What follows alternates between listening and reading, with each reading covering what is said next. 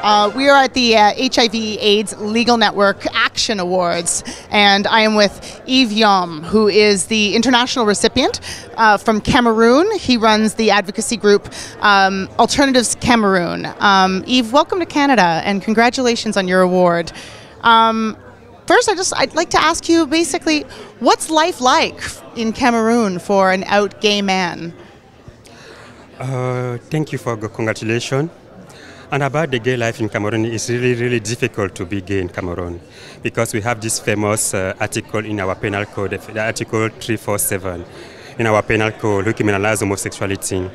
People are in jail because they are simply gay. Uh, people are in jail because uh, their neighbor imagine that they are gay. People are in jail because uh, they don't be, they just behave uh, as a woman and uh, it is really difficult for, for, for them to for for people for gay people to live in Cameroon at this moment.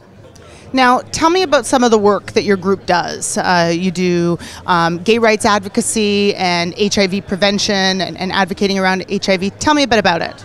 Are, we are very involved in HIV, HIV prevention about uh, gay community in Cameroon. And we opened in 2008 a health center uh, for gay people in Cameroon called uh, Access Center in the city of Douala. Uh, we are also involved in uh, advocacy because, as I told you, we want to, to change uh, things. We, we, we hope that we, we, we achieve this goal to change the situation of uh, gay life in Cameroon. And also we try to, uh, we try to make a, try, a, a kind of connection between those who are rejected by their family because they are gay and the family and uh, also give them what we call um, a legal support because uh, it is difficult for them to have uh, a lawyer who can defend them when they are arrested uh, for being gay.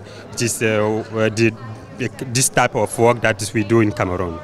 And obviously, the laws um, lead to widespread social discrimination. You described attacks. Uh, how frequently does do attacks happen? every day. We have an attack every day. And I don't know if you heard about the murder of, of my colleague Eric Lembembe, who, who, was, uh, who was killed. And uh, we are still waiting for the result of the, the investigation of this murder. Cameroon is one of the countries in Africa where it is illegal to be gay. It's criminalized. Um, and I understand that it actually has the most arrests in all of Africa and possibly the world.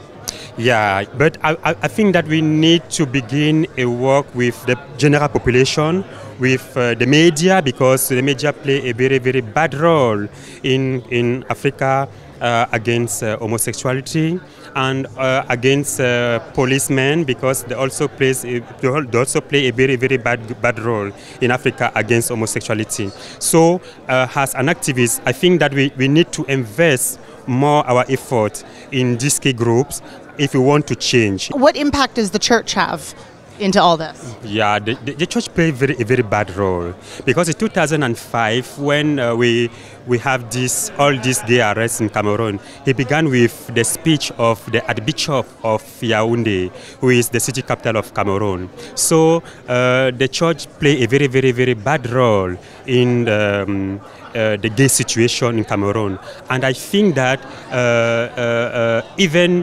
Chris, Chris, Christian?